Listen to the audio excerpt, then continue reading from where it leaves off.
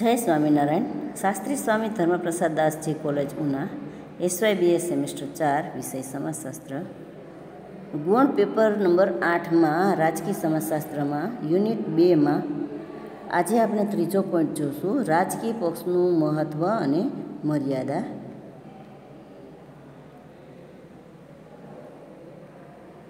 રાજકીય પક્ષનું મહત્ત્વ અને મર્યાદા, તેમાં જોઈએ.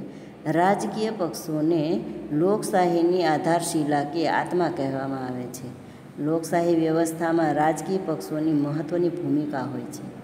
રાજકીય પક્ષોના કેટલાક પ્રશ્નો પરસ્પરની હરીફાઈના પરિણામે પણ સર્જાય છે. રાજકીય પક્ષના સભ્યોએ રાજકીય પક્ષના મહત્ત્વ અને મર્યાદા આ પ્રમાણે બતાવેલા છે. હવે તેના રાજકીય પક્ષનું મહત્ત્વ જોઈએ. સમાન વિચારસરણી ધરાવતા લોકોને એકત્ર કરે છે. કે રાજકીય પક્ષ છે તે દરેક સભ્ય એ એક જ પક્ષમાં પોતાનું ધ્યેય પ્રાપ્ત કરવા માટે થઈને સમાન એકત્ર, એક, એકત્ર કરે છે, જેનું મુખ્ય ધ્યેય હોય છે. તેવા લોકોને એકત્ર કરે છે. એમાં જોઈએ, લોકો જુદા જુદા પ્રશ્નો અને સમસ્યાઓ ઉપર સમાન વિચાર ધરાવે છે. તેમને એકત્ર કરવામાં રાજકીય પક્ષનો ફાળો અમૂલ્ય છે. લોકોમાં અમુક પ્રશ્નો ઉપર વિચારોની સમાનતા જો સમાનતા હોવા છતાં પણ તેમને સાંકળનાર સાધન તરીકે હોવાથી તેઓ એકસાથે અસરકારક રીતે કાર્ય કરી શકતા નથી. આ પરિસ્થિતિમાંથી રાજકીય પક્ષો લોકોને ઉગારી લે છે, કારણ કે રાજકીય પક્ષો અવ્યવસ્થામાંથી વ્યવસ્થા સર્જે છે અને અધકચરી અધકચરી માહિતી સાથે અંધારામાં અટવાતા લોકો સમક્ષ રજૂ થયેલ વિવિધ વિચારોનું વર્ગીકરણ કરીને તેમને યોગ્ય માહિતી પૂરી પાડે છે. એટલે કે એવા લોકોને ચૂંટવામાં આવે છે જેને પોતાનું ધ્યેય એક જ હોય છે. એવા લોકો સમાજને યોગ્ય માર્ગદર્શન અને દિશા પૂરી પાડે છે. બીજું છે, અહિંસક માર્ગ દ્વારા સરકારની ફેરબદલી શક્ય બનાવે છે. તેમાં જોઈએ, રાજકીય પક્ષનો સ્વીકાર એટલે ચૂંટણીનો સ્વીકાર. રાજકીય પક્ષોના ઉદ્ભવ પહેલાં સત્તા પ્રાપ્ત કરવા માટે યુદ્ધનો આશ્રય લેવામાં આવતો હતો. તેને બદલે રાજકીય પક્ષોના અસ્તિત્વ દ્વારા મતના આધારે સત્તા પ્રાપ્ત કરી શકાય છે. બુલેટનું સ્થાન બુલેટ લીધું બુલેટનું સ્થાન બેલેટે લીધું છે. આમ રાજકીય પક્ષોએ અહિંસક રીતે સત્તાની ફેરબદલી સરળ બનાવે છે. આ માટે કહેવાય છે કે સામાન્ય ચૂંટણી શાંત ક્રાંતિ છે. કે ભાઈ ઇતિહાસમાં આપણે જોયું કે કોઈ વ્યક્તિને પોતાની સત્તા સ્થાપવી હોય તો યુદ્ધો થતા હતા, પણ અત્યારે કોઈ વ્યક્તિને લોકશાહી દેશની અંદર કોઈ વ્યક્તિને સત્તા સ્થાપવી હોય તો તે લોકોને પોતાની, પોતાના તરફેણમાં કરે છે, લોકોના જે જરૂરિયાતો જે એને મળી નથી શકતું, એ પોતાની મૂળભૂત જરૂરિયાતો સુધી એને પહોંચાડવાનું માર્ગદર્શન જે બતાવે છે તે વ્યક્તિ છે, તેની સત્તા વધારે આગળ. ત્રીજું છે, વહીવટી ક્ષેત્રને કાર્યદક્ષ બનાવે છે. તેમાં જોઈએ, વિરોધ પક્ષ તરીકે રાજકીય પક્ષનું કાર્ય સરકારી નીતિ અને કાર્યોની ટીકા કરવાનું છે. સરકાર આ પ્રકારની ટીકાથી ભય અનુભવે છે. કારણ કે આવી ટીકાઓ દ્વારા લોકમત વિરુદ્ધમાં જવાની શક્યતા છે. સરકારી તંત્ર ટીકાઓથી બચવા માટે વ્યવસ્થિત રીતે કાર્ય કરે છે અને તેના પરિણામે વહીવટી તંત્ર કાર્યદક્ષ બને છે. ટૂંકમાં, વિરોધ પક્ષ સરકારને સત્તાનો દુરુપયોગ કરતાં અટકાવી તેમની ઉપર અંકુશ રાખે છે. એટલે કે અમુક વિરોધી પક્ષ છે એ મૂળ પક્ષ જે સત્તા ઉપર છે તેને વિચારી અને લોકોમાં એટલે કે સમાજની અંદર કાર્ય કરવાનું હોય છે. જે બંધારણીય રીતે, સરકારી રીતે, કાયદાકીય રીતે જરૂરી છે. ચોથું છે પક્ષ પક્ષ પ્રથાએ વર્ગ રાજ્યને રાષ્ટ્ર રાજ્યમાં ફેરવી નાખ્યું છે. તેમાં જોઈએ, રાજ્ય વ્યવસ્થાનો મૂળ ભૂત, ભૂતકાળ, રાજ્ય વ્યવસ્થાનો ભૂતકાળ તપાસતા જાણવા મળે છે કે સત્તા અમુક વર્ગના લોકો લોકોના પાસે રહેતી અને તેમના હિતના સંદર્ભમાં જ કાર્ય થતા જોવા મળતા. પરંતુ રાજકીય પક્ષોના આગમનથી સમગ્ર પરિસ્થિતિમાં પરિવર્તન આવેલું જોવા મળે છે. દરેક રાજકીય પક્ષ રાષ્ટ્રહિતને મહત્ત્વ આપતા હોવાથી દેશમાં બધા જ નાગરિકોના હિતને ધ્યાનમાં લેવામાં આવે છે. આમ, વર્ગ રાજ્યનું સ્થાન રાષ્ટ્ર રાજ્યએ લીધેલું છે. પાંચમું છે, રાજકીય પક્ષો વિચારોના દલાલ તરીકે કાર્ય કરે છે. તેમાં જોઈએ, માનવી વિચારશીલ પ્રાણી છે. જુદા જુદા મુદ્દાઓ વિશે વિચાર કરતા જોવા મળે છે. એટલું જ નહીં, પરંતુ આ વિચારોને વ્યક્ત કરવા તેનાથી પણ વધુ મુશ્કેલ કાર્ય છે. દલીલો જેમ વેચનાર અને ખરીદનારને એકત્ર કરે છે, એવી જ રીતે રાજકીય પક્ષો દલાલનું કાર્ય કરીને જુદા જુદા વિચારોને વ્યવસ્થિત સ્વરૂપે ગોઠવે છે.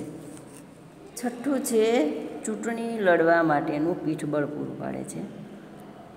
આધુનિક ચૂંટણી વ્યવસ્થા ખર્ચાળ અને વ્યાપક બની ગઈ છે. તેથી સ્વતંત્ર રીતે ઉમેદવારી નોંધાવી મત મેળવવો મુશ્કેલ બને છે. રાજકીય પક્ષના સભ્ય બનવાથી ચૂંટણી પ્રચારમાં પક્ષના સમગ્ર તંત્રની તેમજ નાણાં ભંડોળની મદદ મળી રહે છે.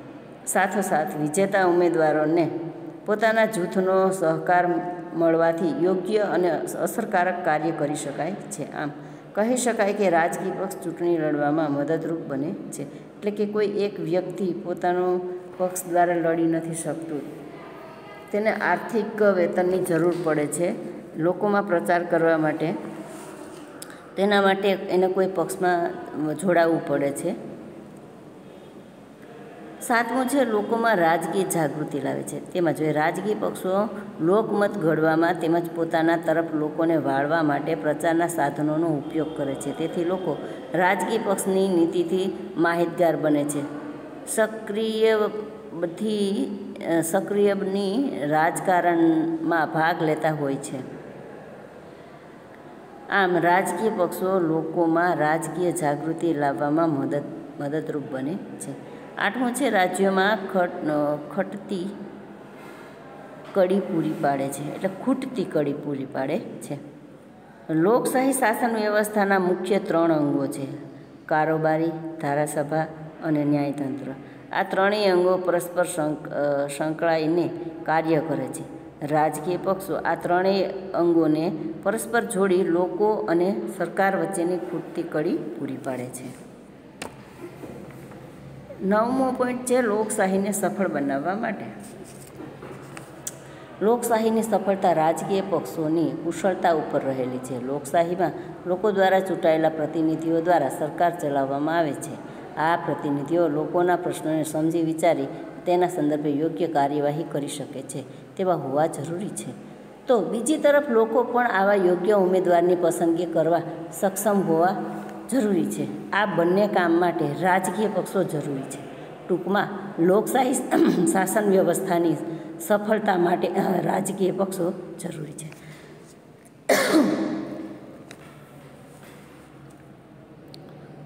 હવે એની મર્યાદા આવે છે. પેલું છે જૂથવાદ ઊભો કરે છે. તેમાં જોઈએ કે જુદા જુદા રાજકીય પક્ષો જુદા જુદા રાજકીય પક્ષો અસ્તિત્વમાં આવવાથી સમાજ જુદા જુદા જૂથમાં વહેંચા વહેંચાઈ જાય છે. તેથી લોકો વચ્ચે વાડાબંધી રચાય છે. આવા વિભાગો વચ્ચે પરસ્પર સંઘર્ષ થતો જોવા મળે છે. જૂથોમાં ઉદ્ભવતો આવો સંઘર્ષ ઉગ્ર સ્વરૂપ ધારણ કરે, ત્યાં રાજકીય વ્યવસ્થા સર્જાય છે, અવ્યવસ્થા સર્જાય છે. એટલે કે જે જૂથમાં એક જ જૂથના વ્યક્તિઓ અલગ અલગ દિશાઓ માં ફંટાય છે, એટલે કે અલગ અલગ પોતાના નીતિ નિયમો ઘડે છે અને પોતાના સુઝાવો રજૂ કરે છે, તેમાં સંઘર્ષ પેદા થાય છે અને તેમાં અવ્યવસ્થા સર્જાય છે. બીજું છે બુદ્ધિશાળી અને શક્તિશાળી વ્યક્તિઓની સેવાથી વંચિત. લોકશાહી શાસન વ્યવસ્થામાં ચૂંટણીમાં બહુમતીએ વિજય બનનાર રાજકીય પક્ષની સરકાર બનાવવામાં આવે છે. વિપક્ષમાં બુદ્ધિશાળી અને શક્તિશાળી વ્યક્તિઓ હોય તો પણ તેમની સેવા લેવામાં આવતી નથી. આમ, રાષ્ટ્ર આવી વ્યક્તિઓની સેવાથી વંચિત રહે છે. આ ઉપરાંત રાજકીય પક્ષો ખટપટ કાવા દાવા વગેરેથી વાતાવરણને દૂષિત બનાવે છે. જેને ગંદા રાજકારણ તરીકે ઓળખવામાં આવે છે. આના પરિણામે સારી વ્યક્તિઓ રાજકારણમાં પ્રવેશવા ઈચ્છતી નથી અને તેમની સેવાનો લાભ રાષ્ટ્રને પ્રાપ્ત થતો નથી. એટલે કે રાજકારણમાં આપણે એવું કહીએ છીએ ને કે રાજકારણ બહુ ખરાબ છે. હકીકતમાં જે વ્યક્તિ બુદ્ધિશાળી છે, શક્તિશાળી છે, જે લોકોને લોકોને જરૂરિયાતો પૂરી કરી શકે એવી છે, એ લોકો સત્તા ઉપર આવી શકતા નથી. એનો પરાજય થાય છે. અને જે લોકો આ અક્ષમ છે, સક્ષમ નથી, એવા લોકો સત્તા ઉપર આવી અને લોકોનો, લોકો પાસેથી કોઈ અપેક્ષાઓ એ, એવા લોકો પાસેથી કોઈ અપેક્ષાઓ રખાતી હોતી નથી. પછી છે કૃત્રિમ સમાનતા. રાજકીય પક્ષો વિચારોના દલાલ ગણાતા હોવાથી પોતાના સ્વાર્થ માટે વિચારોમાં સમાનતા ન હોય ત્યાં પણ સમાનતા હોવાનું વાતાવરણ રજૂ કરે છે એટલે કે કૃત્રિમ સમાનતા ઉત્પન્ન કરી છે. પરિણામે સમાજમાં ખોટી સમાનતા ઊભી થયેલી જોવા મળે છે કે રાષ્ટ્ર માટે નુકસાનકારક છે. જે ચોથું છે વ્યક્તિત્વનો નાશ.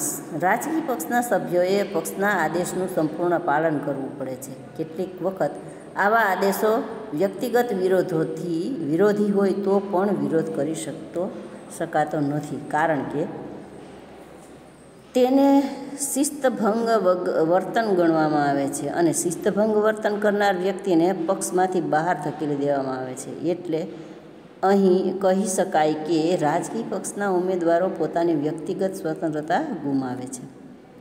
પાંચમું છે રાજકીય જીવન યંત્રવત બની જાય છે. તેમાં જોઈએ રાજકીય પક્ષમાં બહુમતીથી વિજય થનાર પક્ષો પોતાની સરકાર રચીને પોતાની નીતિ અનુસારના ખરડાઓ રજૂ કરે છે અને વિરોધ પક્ષ તેનો વિરોધ કરતો જોવા મળે છે. આવી પ્રક્રિયા કેટલીક વખત સાહજિક બની જાય છે. આવી યંત્રવત ક્રિયાથી રાષ્ટ્રનો વિકાસ રૂંધાય છે. છઠ્ઠું છે સંકુચિત દ્રષ્ટિએ ઉત્તેજન આપે છે. દરેક રાજકીય પક્ષના સભ્યો પોતાના પક્ષના હિત સંદર્ભે વિચાર કરે છે. એટલે કે રાષ્ટ્રીય હિતને મહત્ત્વનું ગણવાના બદલે પોતાના પક્ષના હિતને વધુ મહત્ત્વ આપે છે. પક્ષ પહેલાં રાષ્ટ્ર પછી તેવી વિચારસરણી જોવા મળે છે, જે રાષ્ટ્ર માટે ભયરૂપ બની જાય છે. સાતમું છે રાજકીય જીવન વ્યવસ, અવ્યવસ્થિત બને છે. લોકશાહી શાસન વ્યવસ્થામાં લોકો જ્યારે પૂરેપૂરા જાગૃત ન હોય, ત્યારે તેમની અજ્ઞાનતાનો લાભ લઈને અનેક સ્થાપિત હિત ધરાવનારાઓ પોતાના પક્ષોની રચના કરે છે. આ પ્રમાણે જ્યારે વધુ પક્ષો અસ્તિત્વમાં ધરાવતા હોય, ત્યારે રાજકીય અસ્થિરતા ઊભી થવાની શક્યતા રહે છે. કારણ કે આવી બહુપક્ષીય પરિસ્થિતિમાં કોઈ એક પક્ષને સંપૂર્ણ બહુમતી પ્રાપ્ત થતી નથી. તેથી જુદા જુદા પક્ષના જોડાણવાળી સરકાર બને છે. અહીં પક્ષો વચ્ચે વિરોધ, વિચારોની અસમાનતા હોવાથી સરકારના સ્થિરતા જોવા મળતી નથી. તેથી રાજકીય જીવન પણ અસ્થિર બની જાય છે. આઠમું છે, પ્રજા અસંતોષ અનુભવે છે. જે પક્ષ સત્તા સ્થાને આવે છે, તેઓ અગત્યના હોદ્દાઓ ઉપર પોતાના ટેકેદારોની નિમણૂક કરે છે. આવી નિમણૂક કરતી વખતે લાયકાત અને યોગ્યતા જોવામાં આવતી નથી. તેથી કેટલીક વખત અયોગ્ય વ્યક્તિની પાસે સત્તાઓ આવે છે, તેઓ યોગ્ય રીતે કાર્ય કરી શકતા નથી, જેને લીધે લોકોમાં અસંતોષ ઊભો થાય છે. એટલે કે કોઈ કાબિલ વ્યક્તિ, અનુભવી વ્યક્તિ હોદ્દા ઉપર આવતી નથી, પણ અત્યારે એવું કહેવાય છે કે એકાબીજાની ભલામણો દ્વારા જેમાં યોગ્યતા નથી એવા લોકોને હોદ્દાઓ હોદ્દાઓ પ્રાપ્ત થાય છે, જે એ હોદ્દાને લાયક પણ નથી હોતા. તેવા લોકો છે તે તે પ્રજાની અંદર અસંતોષ ફેલાવે છે, કેમ કે તે પ્રજાનો કોઈ કાર્ય સિદ્ધ કરી શકતા નથી. નવમું છે, અમુક વ્યક્તિઓની અમુક વ્યક્તિઓની જ સરકાર ગણાય છે, જેમ કે દરેક દરેક પક્ષને પોતાનું એક તંત્ર હોય છે અને તેમાં પક્ષના મુખ્ય નેતાઓ હોય છે. આવા નેતાઓનું પક્ષમાં અગત્યનું સ્થાન હોય છે. તેઓ પક્ષ અંગેની તમામ બાબતો નક્કી કરે છે. સત્તાધારી પક્ષ તેમના આદેશ અનુસાર જ કાર્ય કરતા હોય છે. આ રીતે જોતાં સરકાર આ વ્યક્તિઓની ગણા, વ્યક્તિઓની ગણાય છે. દસમું છે, લાગણી ઉપર ભાર મુકાય છે.